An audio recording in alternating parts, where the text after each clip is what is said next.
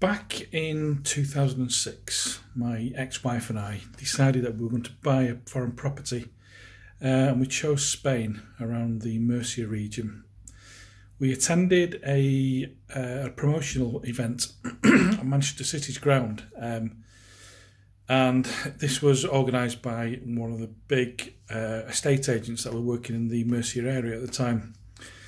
We agreed to uh, go over to Spain um, and we uh, were shown a number of properties by the uh, estate agent, and also we were introduced to the bank, which is one of the Spanish cash banks, which um, was affected by the crash in 2008. Uh, the value of the property was, um, was, was at the time seemed reasonable, um, and we, we went ahead with this, which was a key ready property because we didn't want to. We, we, we thought we we wouldn't take the risk of, of going for a off plan um, property because of the, the, the risk.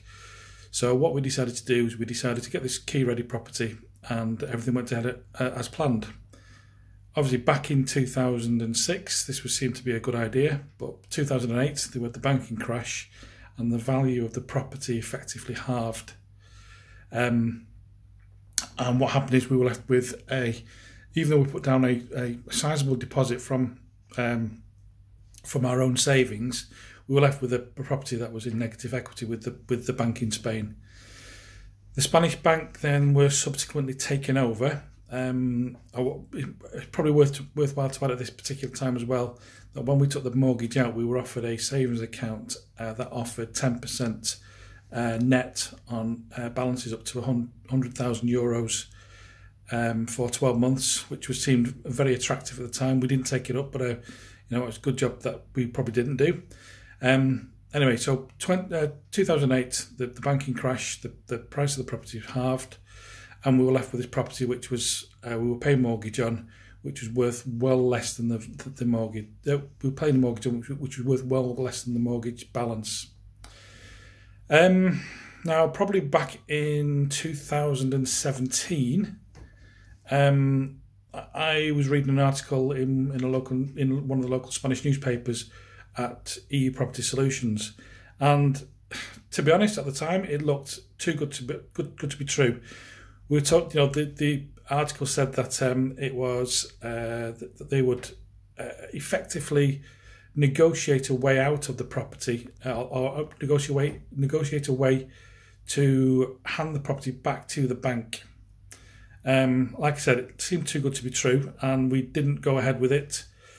However, um, last year, 2020, um, probably around about the September time, uh, we reconsidered this, and we we we gave them we gave EU Property Solutions a call again, um, and we, we decided to go ahead with it.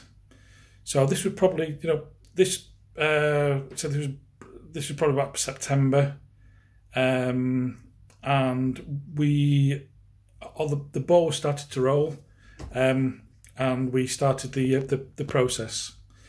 We got the legal power of attorney signed by uh, a notary in the UK, um, and then uh, the, we we just handed it over. Um, and again, we we, we, were, we were kept uh, we, we were kept informed by EU Property Solutions of the progress. And to be honest, there wasn't much to report on. It was just basically, yes, the uh, legal documents have been received, everything had been, uh, negotiations going ahead as planned.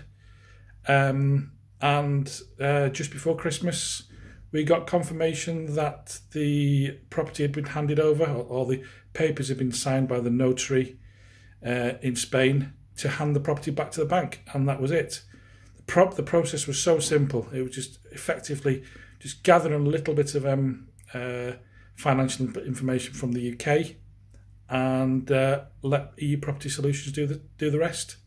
As simple as that. And I, I'd like to take this opportunity to thank um, Natalie and James from EU Property Solutions for carrying out this service for us. Thank you.